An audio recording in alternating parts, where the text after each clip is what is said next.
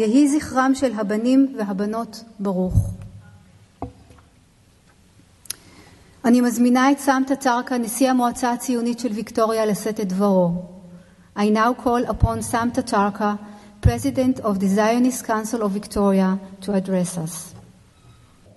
When the horrible truth of the fate of these three boys was known, we came together again, hand in hand, yad by yad, in silence and in tears to mourn their loss.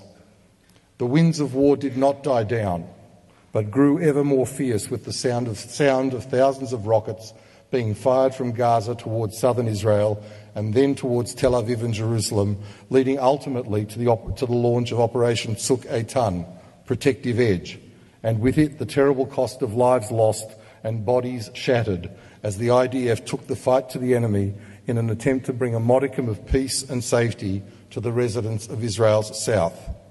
65 young men in the front lines with their lives ahead of them.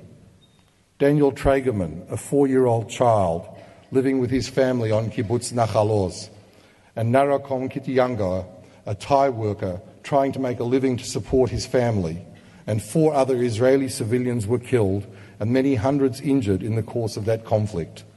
We also not turn our backs on the many innocent Palestinian lives that were lost due to the callous and calculating way in which Hamas embedded itself and its weaponry amongst the civilian population of Gaza.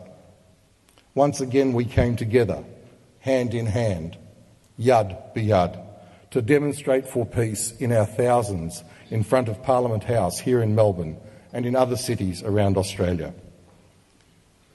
Israel and the Jewish people have also suffered the loss of men, women, and children in a spate of terrorist attacks both at home and abroad.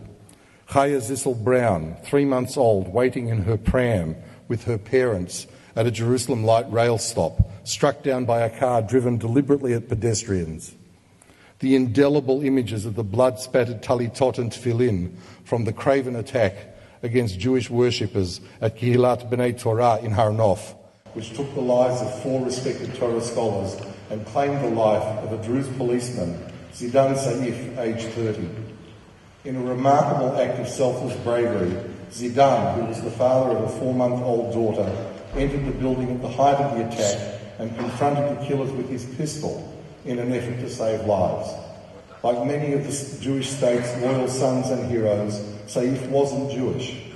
That didn't make him any less than Israeli, just as Israel's sizable Arab and non-Jewish minorities don't make it any less the sovereign Jewish homeland.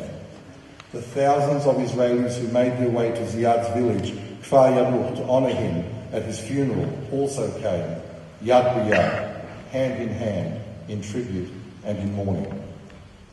The terrorist outrages in Paris, Brussels, and Copenhagen added to the toll, a symptom of the upsurge in anti Semitism across Europe that has seen Jews attacked on the streets that only 70 years ago were liberated from the hands of the Nazis and their henchmen. Those of us who are blessed not to have fought in a battle can only imagine the experience of those who have done so.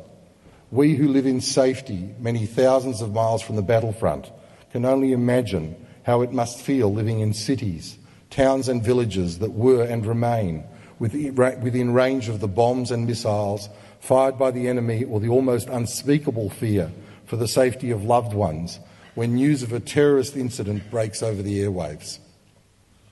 And yet, the bonds that tie the Jews of Melbourne and Jews in all, in all of the other cities of Australia and the world at large to the people of Israel in their darkest hours were and remain unshakably strong. Yom HaZikaron is primarily about the past, but in its culmination, it is also about the future.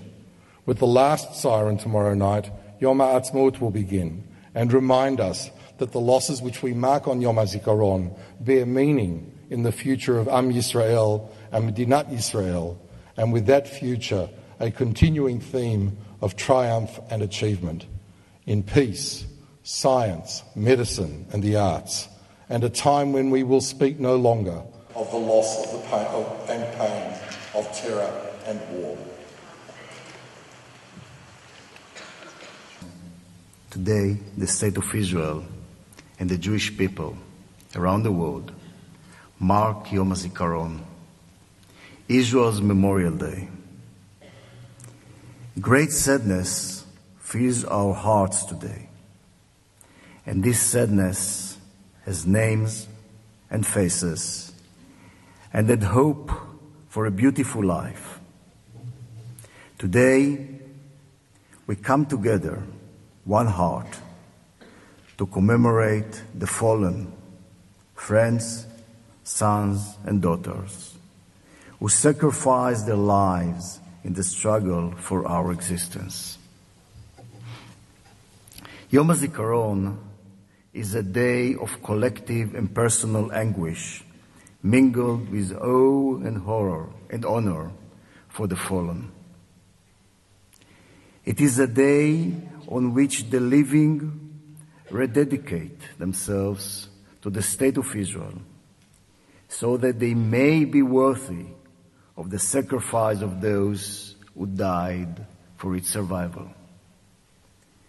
More than 20,000 rest in the mounds of earth of the state of Israel, a world made up mainly of men and heroic women resting under the rock.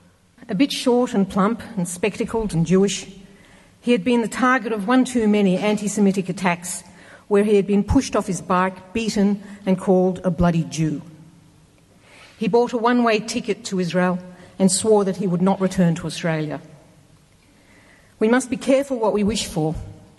He never did return. After visiting family in Tel, Aviv and Tzfat, he decided to go to Ulpan in Kibbutz Sde Eliyahu in the Beit Valley. He found his niche.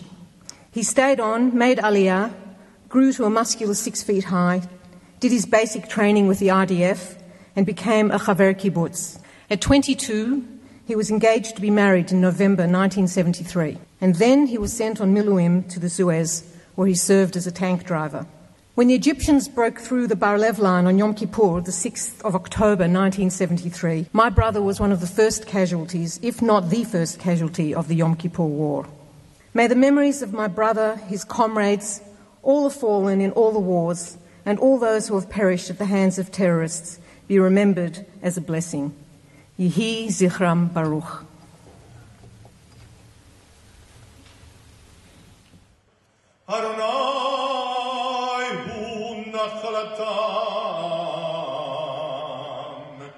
בגן עדן תהיה מנוחתם, וינוחו בשלום על משכבם, ויעמדו לגורלם לקץ הימים, ונאמר